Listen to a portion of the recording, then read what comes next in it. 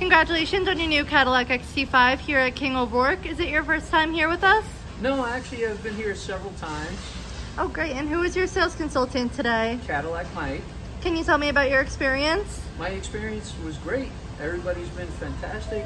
Uh, Mike is an excellent salesperson. Hmm. I've done business with him a couple of times now. And I would highly recommend not only Mike, but King O'Rourke uh, as a whole. Everybody's been great. Perfect. Congratulations. Thank you so much.